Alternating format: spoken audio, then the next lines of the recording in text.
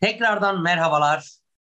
Nasıl oldu ben de anlamadım. Gerçekten yani 100'ün 200'ün üzerinde öğretmen var. Hepsinde tıkır tıkır. Benim derse gelince mutlaka seste, mikrofonda, bir yerde bir şey olacak. Olsun. Ayağımıza diken, bata, diken batabilir tabii ki. Bu canımızı acıtmayacak. Aksine bizi güçlendirecek. Şimdi sevgili arkadaşlar bugün normalde e, Zeynep ses yokmuş. Teknik ekip e, muhtemelen alttan sesini açmamıştır hocamız. Kendisiyle alakalı. Yazılı olarak yazabilir misiniz Zeynep hocam için? Şimdi sevgili dostlar bugün normalde 40 dakikalık bir e, tanıtım yapacaktık. Bu tanıtım işte ÖSYM ne sorar, nasıl sorar, en önemli konuları neler, kilit kelimeler neler bunlara bakacağız diye. E, ses gelmeyen diyen arkadaşlar teknik ekip tekrar gönderir misiniz? Muhtemelen okumadılar yazarken dikkat etmediler.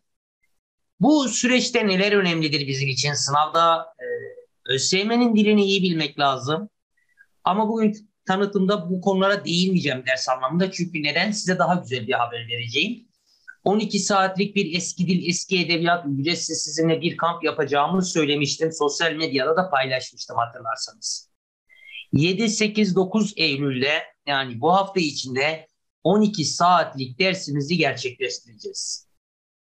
E, 12 saatte de bu 40 dakikada değindiğimizden çok çok daha fazlasına değineceğiz. En önemli konular nelerdir? Ana hatları nelerdir? Diğer püf noktalar nelerdir? Ben de klasik not yok biliyorsunuz. Dersime giren öğrenciler mutlaka vardır burada. Tablolar var. Tablolarla ilişki kurarım. Yorum yapmayı, bakmayı, görmeyi aslında sağlamaya çalışıyoruz. E, buradaki en büyük sıkıntı arkadaşlar sınava gireceksiniz. Biliyorsunuz sınav ertelendi. Stresiniz var, kaygınız var. Gayet normal. E, çünkü bunun sonucunda telafisi yok yani. Bir yıl sonrasını tekrar deneyebilirsin. Bundan dolayı sizler e, gerilmemeniz çok değerlidir. Bu süreçte ÖABT eski dil ve eski edebiyat anlamında sizlere ders yapacağım. Şimdi e, bir de yeni bir sisteme geçiş yapıldı. Yapay zeka eğitim modeline. Yapay zeka eğitim modelinde de arkadaşlar neler var? Bireysel takip dediğimiz kişiye göre özel ilerleyen, aslında kişiyi tanıyan, kişiyi tanımayı sağlayan bir düzen diyebiliriz buna. Bizim yıllarda bir hatamız var. Lütfen sizler de ders dinleyenler de hem birazcık sohbet etmiş olacağız burada. Zaten kampımızı yapacağız. Yedisinde başlayacağız. Onda sıkıntı yok. Arkadaşlar çok çalışmak, çok çalışmak tabii ki değerli bir şeydir ama çok çalışanların atanamadığını görüyoruz. Günde 10-12 saat ders çalışanların gidemediğini gidiyoruz. Bunun en büyük nedeni nereden kaynaklanıyor? Eğitim modelimizden kaynaklanıyor arkadaşlar. Yani bir 40 kişiye aynı sınıfı koyup 40 kişi aynı sınıfta olacak ve 40 kişiye aynı eğitimi vereceksin. 40 kişinin öğrenmesi aynı değil. Altyapısı aynı değil. Öğrenme düzeyi aynı değil. Algılama düzeyi aynı değil. Bilgi hatırlama düzeyi aynı değil. Ve sonra bu 40 kişi aynı eğitimde başarı bekliyoruz. Kişi de çalışıyor aslında ama kendine uygun olan ilerlemediği için sıkıntı yaşıyoruz biz. Bundan hareketle ortaya çıkmış bir modeldir bu. Ee, birinci fazla açıldı. İnşallah sınava hazırlanan TYT, LGS, KPSS, ÖAB hiç fark etmez. Rabbim herkesin öncelikle yardımcısı olsun. Bu süreçte de bu sistemle de bir nevi üstündeki yükleri kaldırmayı hedefliyoruz. Ee, sistem aktif olarak şu an kullanıma açıldı zaten.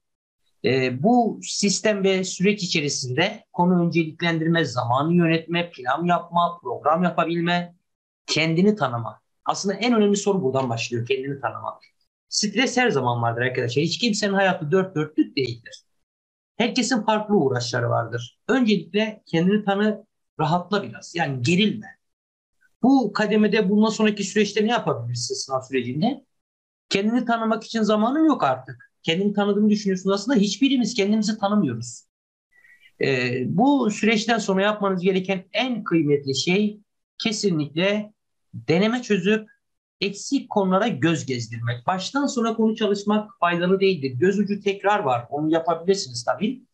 Ama bu da dönem içerisinde geride yaptığınız şeyler de çok kıymetli. Aşama aşama, parça parça ilerleyebilmek önemli. Ee, bu sistemle de inşallah gelecek sene Umarım sınava hazırlanan arkadaşlarımızın yükünü hafifletmeyi hedefliyoruz. Ki ciddi manada çok şey değiştireceğiz inşallah. 23 ile ilgili bilgi vermedim Tuğçe Hocam. Ee, zaten 23 ile ilgili şöyle olabilir. Sevgili arkadaşlar bu bir link vardı. Teknik ekip paylaşmıştı. O linki tıklayıp e, bilgi almak isteyenler bilgi alabilir. Hatta şöyle söyleyeyim. E, o linkte bir saatlik seans da ayarlansın sizlere. Eğitim koçlarıyla bir konuşabilirsiniz bu konuları. Genel olarak yani genel durumunuzda.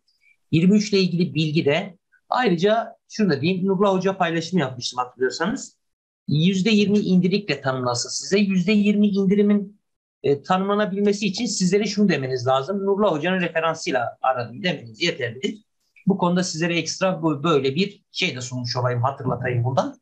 Benim amacım şu an 23 değildi hocam. Sınav kamp ve şeyle ilgili ama e, 23 yılında yapay zeka eğitim modeli olacak. Klasik olan şeyleri biraz inşallah kenara bırakacağız. Aslında yıllardır dert yandığımız bir gerçek. Sizler de öğretmen olacaksınız. İnşallah atanacaksınız. Görev yerlerinizde çok güzel işlere imza atacaksınız. Kendinize güvenin zaten bu süreçte en önemli şey budur. Ama klasik olandan sıyrılmamız lazım arkadaşlar. Aslında ders çalışırken sabah akşam notlardan okuyoruz, çalışıyoruz ama unutuyoruz. Tekrar bakıyoruz sınava gidiyor. Sanki ilk defa bu sınav sorularını gördük gibi oluyor. Bak klasik ezberleri herkes yapar. Belli sorular var herkes yapamıyor. Onu yapanlar da atananlar oluyor zaten. E, ciddi bir altyapı gerektiriyor. Evet hocam ben 7 yıl daha önce atanabildim. Hocam ben de 7, 7 yıl sonra mı atanacağım soruları duyuyorum bazen. Yok öyle bir şey arkadaşlar.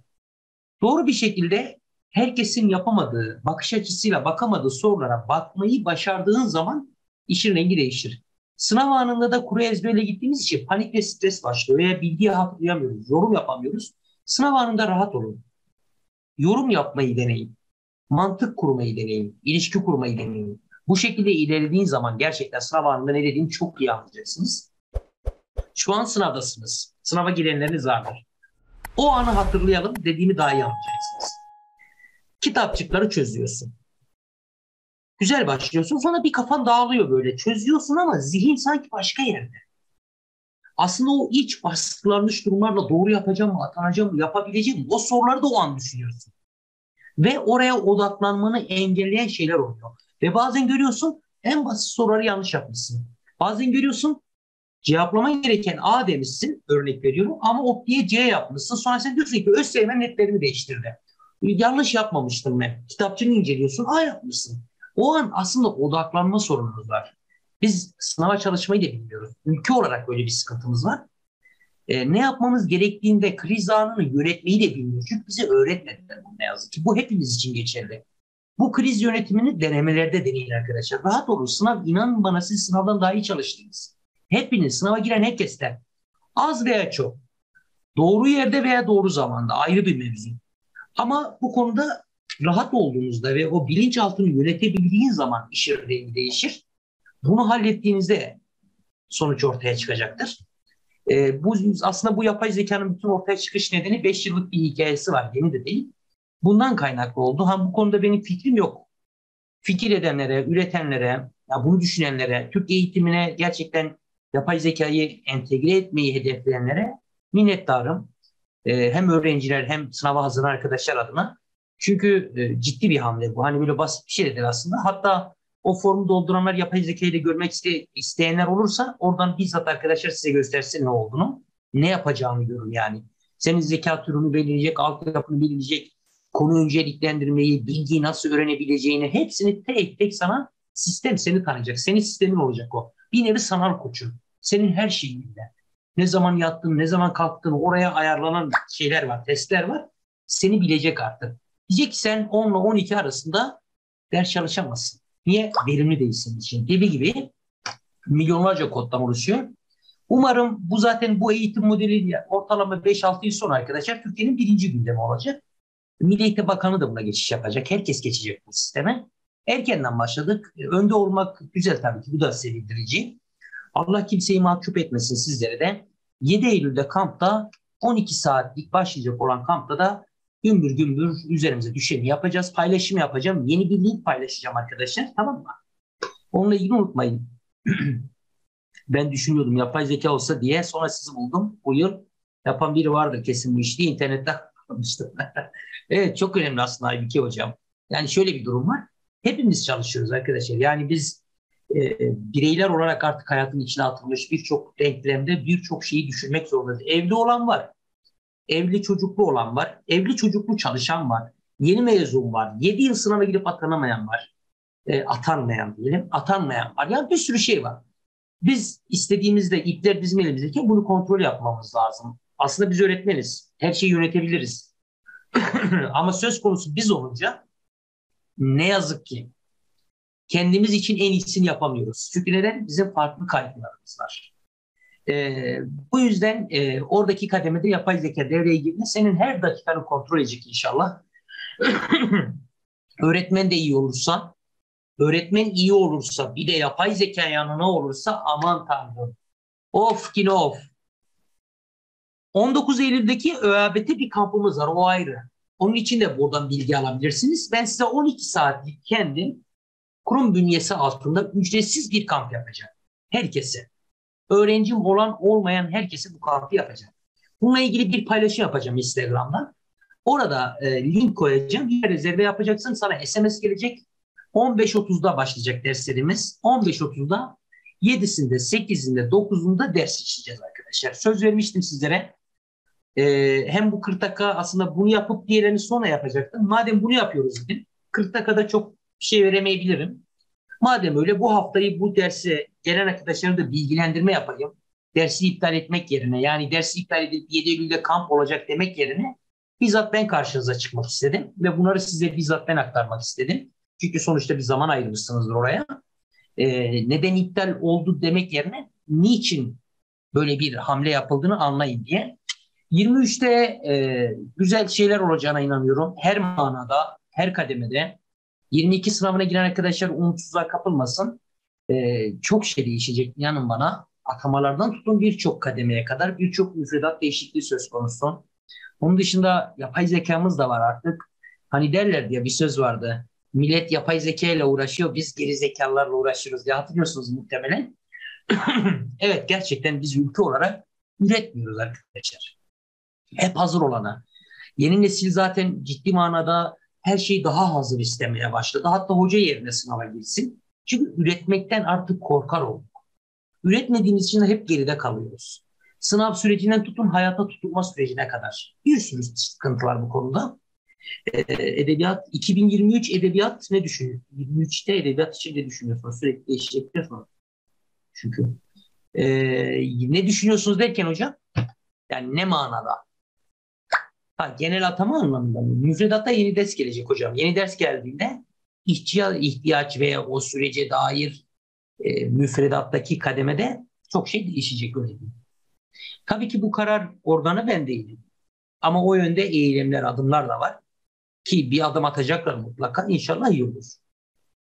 Türkçe'de de yükselecek arkadaşlar. Türkçe'de ve edebiyatta sistem Türkçe, matematik e, ve edebiyat endeksine dönüyor. Bir de İngilizce var. Yani sistem değişiyor aslında. Yavaş yavaş paylaşımları görüyorsunuzdur. Söylemleri bakanlığın işte resmi sayfalarında. Değişiklikler yaşanacak. O değişikliklerde e, birçok branşın işine yarayacak. E, bu branşlarda yıllardır aslında geri plana atılan bu dilin, bu toplumun dilini, kültürünü, örfünü, adetini yansıtan dil en çok ihmal edilen biliyorsunuz. Ha başka branşlar da var. Sayısal branşlar da çok ihmal edildi. Mesela fizik, kimya, biyoloji, resim öğretmenliği. 64 ile atanamıyorlar. Niye? Altyapı. Çalışmayı bilmiyorlar aslında. Besyo mesela. Gen yetenek, gen kültür bilemez adam. Almadı ki adam yetenekle girdi sınavda. O yüzden bazı branşlarda düşme nedeni veya yükselme nedeni de atama belirliyor. Altyapı belirliyor, zemin belirliyor. E, 2022, 23, 24 sınavı için şunu söyleyeyim rekor atamalar gelecek inşallah. E, bunun birçok denklemi var. Yani burada bunları açıklamam doğru da olmaz. E, ama umutsuz olma, ben yapamam, edemem, olmaz diye düşünme. Doğru çalışırsan, doğru ilerlersen, zamanında yapman gerekeni yaparsan iş farklı bir boyuta gider. Zaten şöyle bir boyut var. Mesela yazıyor bana. Hocam ben dördüncü sınıfım diyor ama formasyonum yok. Sınava niye çalışayım ki diyor formasyonum yok. Şimdi bu çok mantıksız bir bakış açısı. Neden biliyor musun? Sen altyapın çok mu iyi? Girdiğin sene tak diye atanıp kazanacak mısın? Olabilir. Var böyle örnekleri ama kaç kişi? Zaten formasyon aldıktan sonra sen o sınavı öğrenmek zorunda değil misin? Çalışmak zorunda değil misin? Sen orada çalışıp, formasyon aldığın sene de çalışıp altyapını oturtup tak diye sınava girdiğinde tam hazır halde girip sene kaybetmeden girmen daha mantıklı değil mi? bence daha mantıklı oluyor. Mesela bu sorular da çok şey. Yani zamanı gelmeden fırsatı değerlendirenler hep kazananlardır arkadaşlar. Zamanı bekleyip bir adım atanlar da genelde sıkıntı yaşıyorlar bu süreçte. Çünkü birçok denklem var. Ee, burada biraz hem sohbet ettik, muhabbet ettik. Bilgi almak isteyen, bu kademeyle ilgili e, ne var ne yok sormak isteyenler formu doldurabilir. Hem yapay zekayı merak edenler, ne olduğunu görmek isteyenler oradan da doldurabilirler. E, derslerde 7'sinde ücretsiz kampta görüşeceğiz arkadaşlar. 2023'te ben varım. Beyza hocam. Ben varsam sıkıntı yapma. En iyisini oraya koyarım ben. En iyi öğretmeni orada görürsün. Tek ders alamaz arkadaş. Şu an olay benim derse döndü. Yani etik olmaz şu an. Ben kurum çatısı altında şu an bu semineri yapıyorum. Ee, bunları sosyal medyadan sormanız öncelikle istiyorum. Burada çünkü herkesin şu an ilgi alan o sorular da olmayabilir. Benim amacım bu değil aslında ama 2023 ile ilgili bilgi almak isteyenler için tekrardan bir form, bir link paylaşabilir misiniz sevgili teknik? Ee, bütün sorularınızı arkadaşlar bu linkten paylaş sorabilirsiniz. Aklınıza takılan ne var ne yok. Ee, sosyal medyadan bana da sorabilirsiniz. Instagram üzerinden. Ee, şu an linki tekrar paylaşabilir misiniz? Paylaştılar. Bunu doldur. Kafana ne takılıyorsa ara sor. Seni arayacaklar zaten. Ne geliyorsa aklına sor. Ama tabii ne geliyorsa sınav dışı olmasın lütfen. Dedikodu muhabbet ne dönmesin olay. Biri aramış mesela ya Mehmet hocam dersleri şöyle iyi böyle iyi biz onunla aslında şöyle şakalaşırım ben böyle şakalaşırım diye bizim çağrı merkezi arkadaşlarımıza bu muhabbeti yapıyor. Yahu Allah aşkına sen iyi misin? Senin ne işin var orada? Senin amacın orada kampın programını öğrenmek. Alakasız dedikodulara giriyor. Şimdi sevgili dostlar, zaman ayırdığınız hepinize teşekkür ederim. Ama bu zamanı ayırmanızda daha çok ödül vermek amacıyla da 12 saatlik kampımızı yapacağımızı duyurduk zaten. 7'sine başlayacak. Link paylaşacağım Instagram'dan, televizyonda paylaşacak. SMS de attıracağım size. Yani bu derse herhangi bir şekilde girmiş olan kim var kim yok. Herhangi bir zaman ve hak mahrumiyeti yaşanmasın diye hepinize SMS de attıracağım buradan. Derse her türlü gireceksiniz. Ee, sadece duyuruyu takip edin. Bugün paylaşacağım. Orada devasa bir şey yapacağız. Üstesinden geleceğiz her şeyin. Ee, beklediniz, dinlediniz. Hepinize çok teşekkür ederim. 7'sinde 15.30'da görüşmek dileğiyle. Sormak istediğiniz bir şey varsa eğer sorabilirsiniz. Merak ettiğiniz herhangi bir konu varsa genel, özel fark etmez. Şimdi alabilirim arkadaşlar. Eğer yoksa da ben gideyim. Tabii tabii e, kaydolacak yani hem e, YouTube kanalına da kaydolacak arkadaşlar. E, aynı anda Instagram üzerinden bir ders linki üzerinden de canlı yayın yapacak. Bizim öğrencilere kayıtlı zaten arkadaşlar. Bir sürü ders var. Daha ne kadar istiyorsunuz? Eski dil, eski edebiyat toplamda 10-12 saatlik. Yani 12 saatlik planım var. 10 olur, 12 olur, 13 olur. Konunun bağlamına göre bilmiyorum. Orayı tamamlayınca bitireceğim. Ee, zaten SMS attıracağım. Kayıtlı olan olmayan herkes için 12 saat yapacağım arkadaşlar. Söz verdim sınav iptalinden sonra. Ha bir de sadece kayıtlı olanlar için de 19 Eylül'de bir kampımız olacak. 19 Eylül'de başlayan. Ee, onunla ilgili de o linkten bilgi alabilirsiniz. Az önce paylaşılan linke tıklayarak. Ee, oradaki kampımız bu ayrı. Bu kurum çatısı altında yapılan bir şey. 12 saatlik kim var kim yok. 7 düellik. Bütün cemaat, bütün edebiyatçılar, herkes giriş yapabilir. Türkçe öğretmenleri eski edebiyata giriş yapabilir. Bu konuda hiçbir sıkıntı yok. Sadece takip edin. Soru ve konu üzerinden. Aslında anket yaptım. Ee, şey üzerine konu çok daha ağır bastı. Çok ciddi manada. Konu üzerine inecektim ama ankete oy verenlerin belli bir kısmı da soru demişti. İki tarafın da isteğini gerçekleştirmek amacıyla konu soru şeklinde gideceğiz. Kısmet olursa da en önemli yerlere değineceğim. Yani orada tabii ki her şey önemli ama bazı şeyler çok daha önemlidir. Ona değinip bazı formüller vereceğim. Ben de klasik şey yok arkadaşlar okuma yok.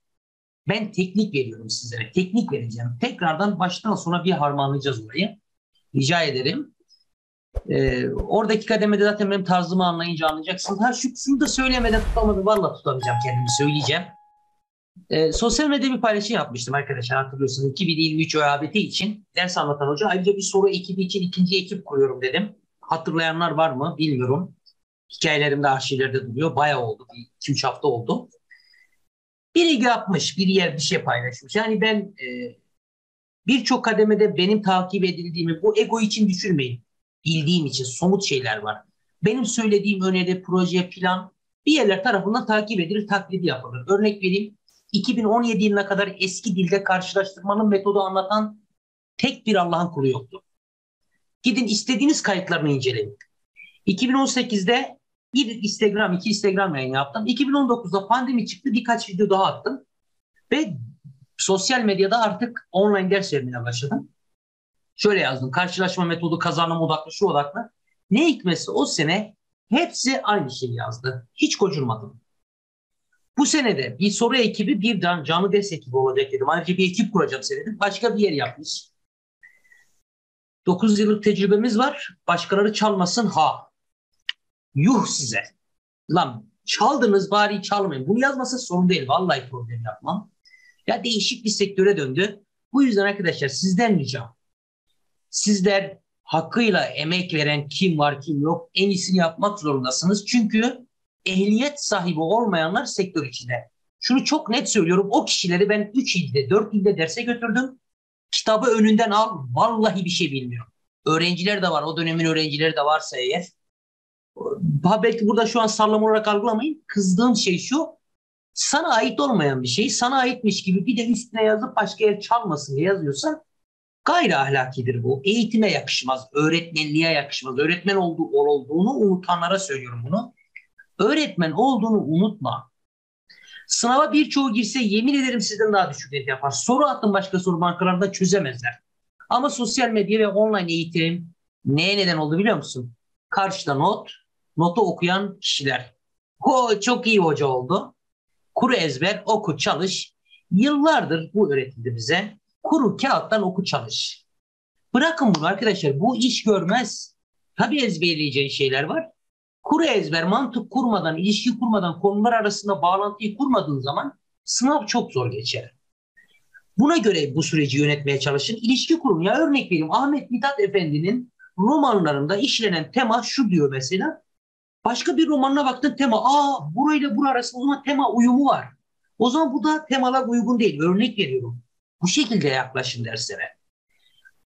Ee, Halit Ziya Uşaklıgil'in romanlarında üçlü aşk motifi var. Bak bir soru sordu. Ki Cevahir denemesinde ilk defa o soru tipi vardı. Başka hiçbir yayında yoktu.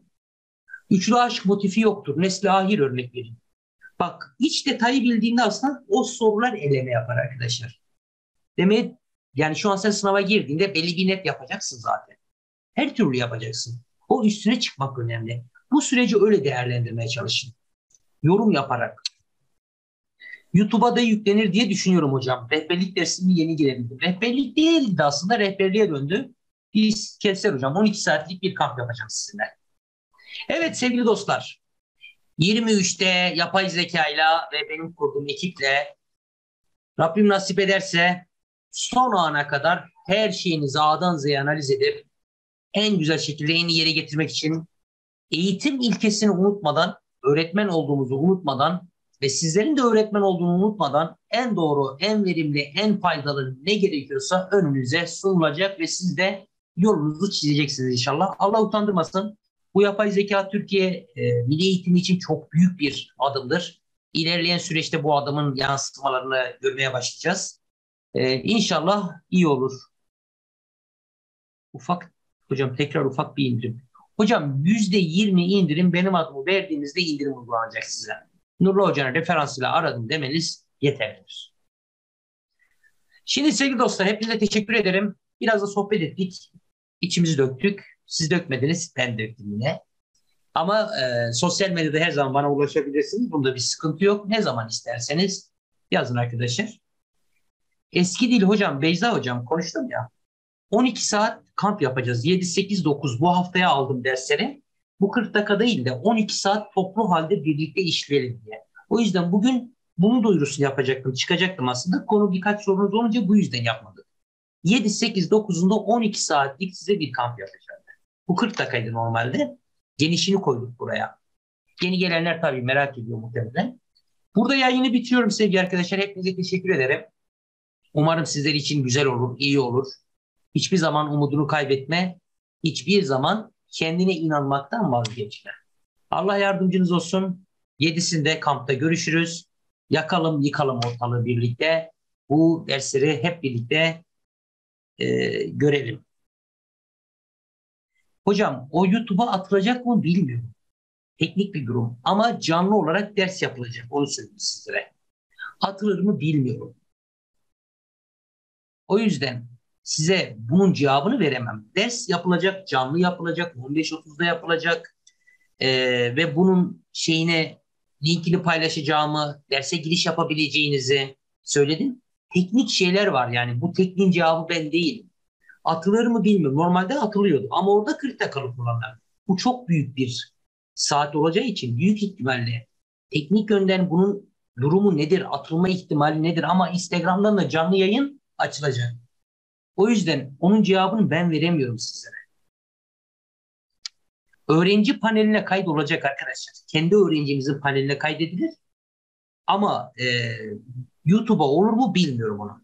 Çünkü dikkat edin mesela girin kanalın hepsine. Oradaki işleyiş çok daha farklı. Bu sebeple. Tamam mı sevgili dostlar? Canlı dinlersin sen de notunu alırsın. Olur biter arkadaşlar. Yani size sordukça soruyorsunuz. Ee, sevgili dostlar hepinize teşekkür ederim. Kendinize iyi bakın. Kampta görüşmek üzere. Yakıp yıkalım ortalığı. Allah yardımcın olsun. Kendine inan. Başarabilirsin. Ben ne hikayeler barındırıyorum bir bilsen. O kadar umutsuz insanda gördüğüm evli, çocuklu, barklı, hayatta atanamam diyen, hayatta o 83-84'ü alamam diyen onlarca öğrencim var. Aldılar. İlk senesinde 63 almış, diğer sene 84 profilde de paylaştım altlara inerseniz. Önceki sene sonraki sene diye. Bunun nedeni şundan arkadaşlar. Kendine inanacaksın önce. Doğru yola girdin mi doğru yolda sapmayacaksın. Doğru yol nedir? Hedefin kazanmak. A, B, C, D hocası, Y hocası ben de önemli. Kimse önemli senin için. Hayalin önemli. Hayaline ulaştıracak ne gerekiyorsa o her şeyden mübahtır. Allah affetsin sizlere. Öpüyorum. Görüşürüz arkadaşlar.